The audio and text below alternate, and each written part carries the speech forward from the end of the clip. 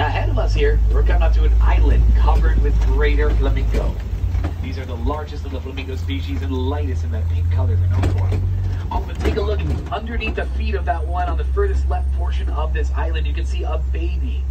It's just two days old. And the baby flamingos start out that sort of grayish color. They're a little puffball. They slowly turn white over time and then finally reach the pink we all know them to be. All of that comes from eating the brine shrimp that makes up their diet. It's very rich in that beta carotene. Now take a nice close look at the island itself they're standing on. You might notice it almost takes on a familiar mouse head shape. It's kind of interesting how that works out here in nature.